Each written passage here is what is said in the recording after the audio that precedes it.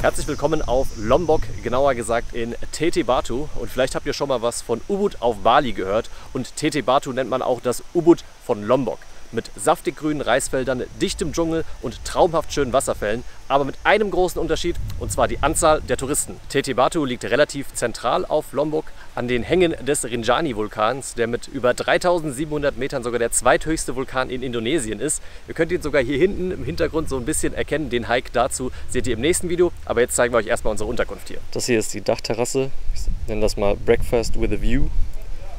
Dann gibt es hier noch ein Restaurant, hier ist der Weg nach draußen. Abenteuerlich auf jeden Fall mit dem Roller. Und hier geht es dann runter zu den Zimmern. Schauen wir uns mal die Zimmer hier an. In den TT Batu Full Moon Bungalows. Ja, typisch, würde ich sagen. Einfach, aber ausreichend. Und mal ein Blick ins Badezimmer. Kostet, glaube ich, 12 Euro pro Nacht inklusive Frühstück. Aber das Schöne an der Unterkunft ist halt diese Lage mitten in den Reisfeldern mit Blick auf den Rinjani. Und wir treffen jetzt Asman, das ist ein Local Guide, den haben wir gestern Abend kennengelernt. Der zeigt uns mal ein bisschen die Area hier um Teti Batu.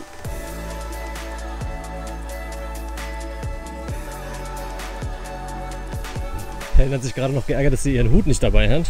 Ich glaube, ich kriege einen. Aber Asman äh, ja, hat Abhilfe. Yeah, very, very strong today. More warm today. Thank you. Norman and Helen. Ellen. Asman, Yeah. so what's our first stop? First we go to the waterfall, the Cape waterfall. Yeah. Yeah, yeah, my sister, younger This is your sister? Yeah. Apa kabar? Baik. Sampai bertemu lagi. Bye bye. Asman hat gesagt, wir sehen eine Spinne. Da ist sie. Boah. Not danger spider, yeah. We don't have danger spider here. Nothing danger. Good to know, but still scary.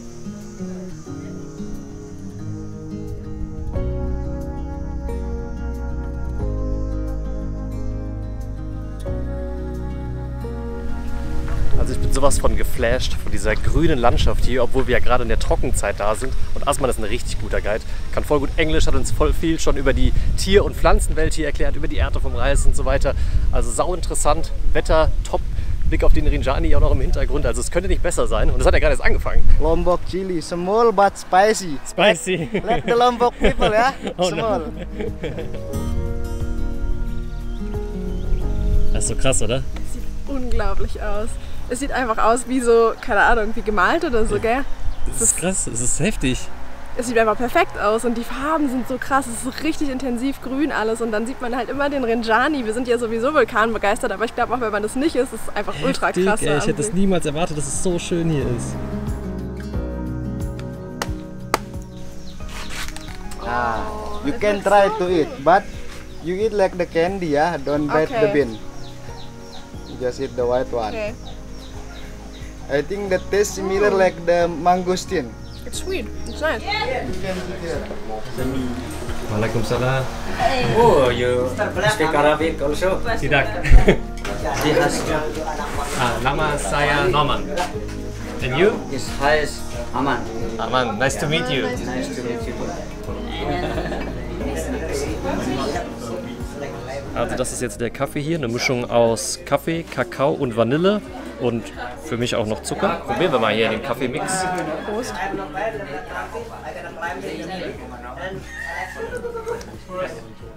Schmeckt in erster Linie nach Kaffee, würde ich sagen. Ja, also die Kakaonote und Vanillenote ist nicht so ganz ausgeprägt, aber Aber schmeckt gut. Ich mag ja Kaffee gerne. Is the coffee powder same like you drink, yeah? With cocoa and vanilla, just hot water, not filter. You can make powder by yourself if you have machine. I collect like a small compression, yeah? To help other people. If you're thirsty, you can buy. If you're not, no problem. Hier werden auch ganz viele Gewürze verkauft, also zum Beispiel die Chilis, an die trauen wir uns aber nicht ran, oder Pfeffer oder Koriander. Und wir haben uns jetzt hier für Zimt entschieden, den können wir dann einfach irgendwie in den Tee oder in den Kaffee machen. Und ist ja ganz schön, hier mit einer kleinen Spende zu unterstützen.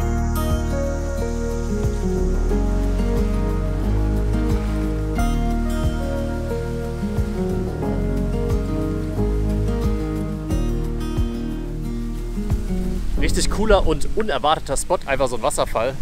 Irgendwo hier zwischen Reisfeldern und Schluchten. Er ist auf jeden Fall sehr gut versteckt, aber auch wunderschön. So ich fand, es war ein bisschen mystisch irgendwie, weil da nur so ein ganz bisschen Licht von oben reingefallen ist und es sah ultra cool aus. Hatten noch Glück mit dem Timing, als wir angekommen sind, war keiner da. Dann kamen so zwei Gruppen und dann wird es dann natürlich ein bisschen voller, weil es natürlich nur eine kleine Area ist. Aber sonst ist es bisher hier super ruhig, voll schön und jetzt geht es, glaube ich, ein bisschen Richtung Reisfelder.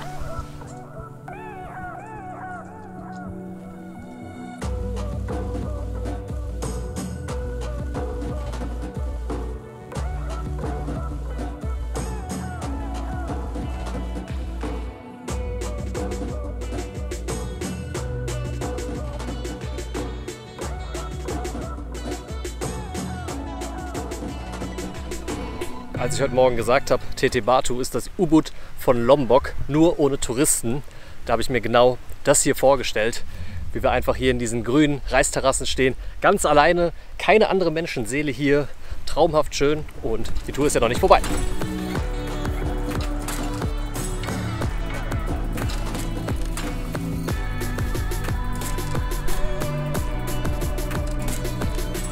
Bei all der Schönheit aus touristischer Perspektive darf man natürlich nicht vergessen, dass Reisanbau ein harter Knochenjob ist. Assmann erklärt uns hier sehr viel darüber und hat auch gesagt, dass der meiste Reis hier selbst gegessen wird und nicht verkauft wird, weil ein Kilogramm bringt gerade mal 15.000 indonesische Rupien. Das ist umgerechnet nicht mal ein Euro, weshalb das hier selbst verzehrt wird, da sich der Verkauf gar nicht lohnt.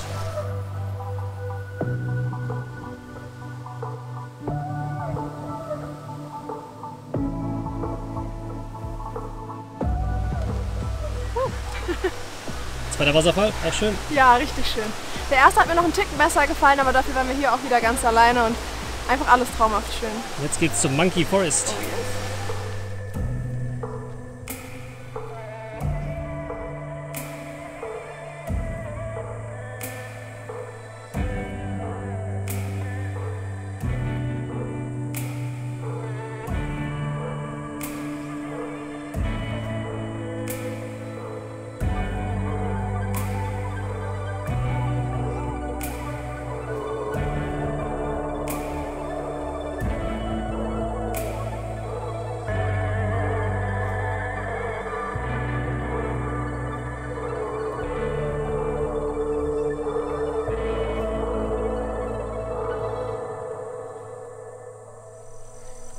Wir sind fündig geworden. Wir haben auf dem Hinweg eine andere Gruppe getroffen und die haben nämlich gesagt, wo wir hingehen müssen. Und hier in den Baumkronen sind so, weiß ich nicht, 30 Affen ungefähr. Locker, ja, es sind richtig viele um uns rum gewesen auf einmal. Wir haben auch zwei Jungtiere gesehen und die sind braun. Die sind nicht schwarz wie die Black Monkeys sonst. So Und- aus. Das Schöne ist halt, dass die hier auch nicht angefüttert werden. Die leben komplett frei. Ich war so ein bisschen skeptisch bei Monkey Forest, aber das ist einfach ein Wald, in dem ja, Affen leben. Asman ist ein richtig guter Guide, hat jetzt schon das Essen vorbestellt, dass wir da nicht warten müssen, weil wir laufen jetzt so eine Viertelstunde zurück ins Warung Monkey Forest, da wo wir ihn gestern kennengelernt haben. Und er ist super freundlich, extrem geduldig, obwohl wir hier mit Drohne fliegen und vloggen und so weiter. Und wir würden ihn auch wärmstens weiterempfehlen, aber er wird nicht mehr lange hier in Tete Batu sein. Er geht für ein dreimonatiges oder sechsmonatiges Studium erstmal nach Makassar in den Süden von Sulawesi. Aber ihr findet das alles auf unserem Blog mit den ganzen Infos und so weiter. Und falls das Video euch bis hierhin gefallen hat, dann freuen wir uns über einen Daumen nach oben. Das hilft uns weiter. Und falls ihr zum ersten Mal dabei seid, dann könnt ihr auch gerne ein Abo dalassen, falls euch Videos interessieren zum Thema Weltreise, Länderguides und so weiter. Und jetzt wird es mal Zeit, was zu essen. And olah-olah, Yeah, I try this one. Okay, terima kasih. Ich probiere heute mal ein neues Gericht, das nennt sich Ola Ola Curry. Und wir sind nämlich vorhin an einem Jackfruitbaum vorbeigelaufen und Asman hat gesagt, dass das oft in einem Curry verwendet wird. Das ist dieses Gericht und es schmeckt richtig gut. Und generell muss ich sagen, der erste Tag war schon mega schön. Es war aber noch nicht alles. Morgen geht es noch weiter. Aber vorher wollen wir euch erstmal unseren neuen Kooperationspartner vorstellen. Und da sind wir richtig froh drüber, denn es ist auch wieder etwas, was wir wirklich jeden Tag selbst auf Reisen nutzen. Eine Sache, die für uns auf Reisen unverzichtbar ist, ist ein VPN. VPN steht für virtuelles privates Netzwerk und schützt deine Internetaktivitäten. Wenn man sich zum Beispiel in öffentliche WLAN-Netze einwählt, ist es besonders wichtig, seine Daten zu verschlüsseln, wenn man insbesondere Banking-Apps benutzt. Und genau das machen wir mit NordVPN, wo du aus über 60 Servern aus den verschiedensten Ländern der Welt wählen kannst, was dafür sorgt, dass du anonym, frei und sicher im Internet unterwegs bist. NordVPN kann man sowohl auf dem Desktop als auch als App auf dem Handy installieren und auf bis zu sechs Geräten gleichzeitig nutzen, was für uns auch super praktisch ist, weil wir allein schon mit zwei Handys und zwei Laptops unterwegs sind und so schon auf vier Geräte kommen. Außerdem könnt ihr weltweit auf Streaming-Inhalte zurückgreifen, die sonst eigentlich nur in Deutschland Deutschland verfügbar sind, indem ihr ein VPN dazwischen schaltet. So könnt ihr auch von unterwegs eure Lieblingsserien gucken, selbst wenn sie in dem Land, in dem ihr gerade seid, eigentlich nicht verfügbar ist. Ihr seht also, ein VPN ist gleich aus mehreren Gründen super praktisch. Und das Beste ist, dass wir einen exklusiven Rabatt von NordVPN für euch bekommen haben, mit dem ihr richtig sparen könnt. Und wenn ihr einen Zweijahresplan abschließt, bekommt ihr sogar vier Monate gratis obendrauf. Nutzt dazu einfach unseren Link, den findet ihr ganz oben in der Videobeschreibung. Und jetzt geht's weiter im Video.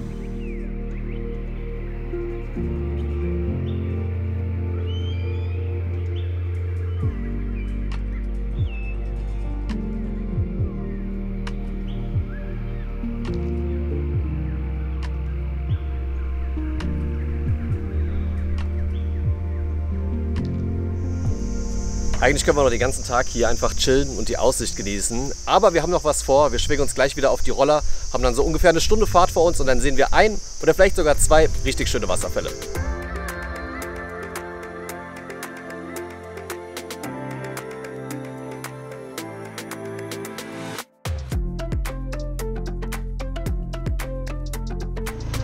So krass hier lang zu fahren. Egal wo man hinschaut, Reisfelder. Man fährt durch diese ganzen kleinen Dörfer. Die ganzen die Kinder winken hier immer super lieb. Hier. Hallo, apa kabar? Hallo. Hallo. Also, ja, ihr seht, so geht das die ganze Zeit. Also, traumhaft schön einfach.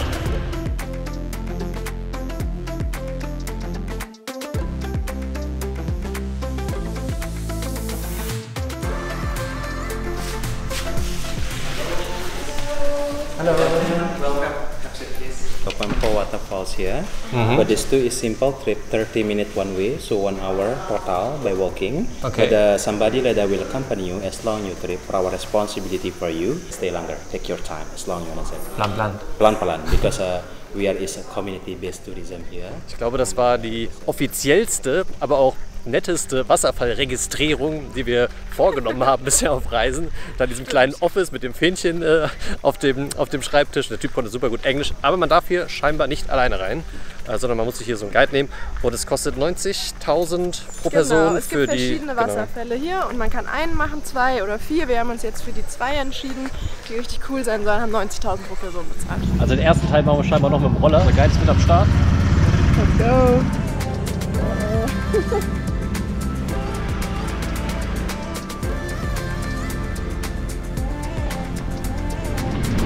Weg hier ist echt nicht ohne. Ich sag mal so, ich würde hier auf keinen Fall fahren. Ähm, ich glaube, man sollte ein bisschen Rollererfahrung mitbringen. Aber wenn man gerne Roller fährt und sowas macht, macht's Bock.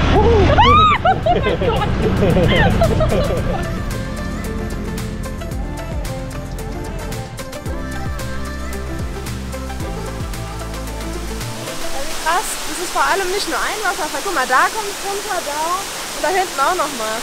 Richtig cool aus.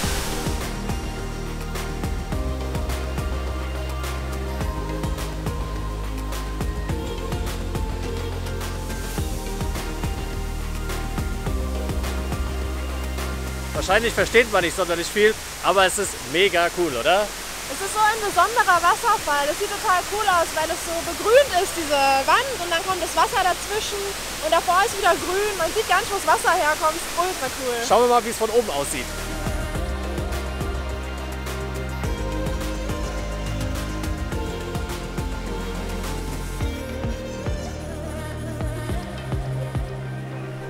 Wir sind wieder auf dem Weg nach oben. Es hat ein bisschen angefangen zu regnen, aber noch nie sowas gesehen. Äh. Es ist so ein unfassbar schöner Ort, wirklich. Ich bin immer mehr begeistert hier von Tetibatu und der Gegend. Eine abenteuerliche Rollerfahrt durch die Bananenfelder weiter. sind wir jetzt beim nächsten Wasserfall angekommen. Hat sich jetzt ein bisschen eingeregnet, Aber, aber, wir sind nicht aus Zucker und beim Wasserfall wird man ja eh nass. eben Und wir wollen den zweiten auf jeden Fall auch noch sehen.